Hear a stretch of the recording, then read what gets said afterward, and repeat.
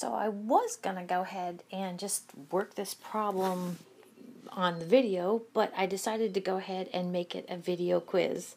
I'm sure you'll do fine with it. We're going to now talk about an acceleration that's not powered by uh, gravity, but an acceleration that's powered by fuel, by a car, okay?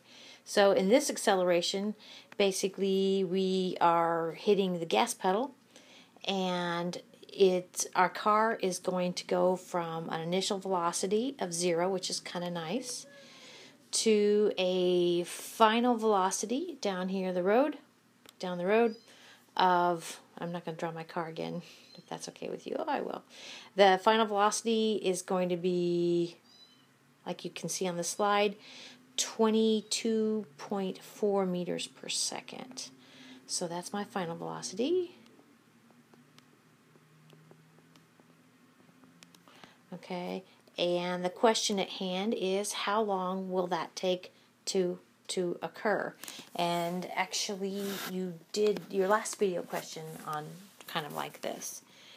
So, what you need to know, because otherwise you wouldn't have enough information, notice that when you hit the gas pedal, that for every second you go, it's going to go faster 5.41 meters per second. So your acceleration as you hit the gas pedal is 5.41 meters per second. Okay, and before we said that you can actually rearrange, this is my hint, and then I'll get out of your way. we said that we could rearrange this. In this case, we have our final velocity, we have our acceleration, and what we're after is the time. And we said we could actually rearrange this and get time is equal to final velocity divided by acceleration, and you have those. So go ahead and work this problem.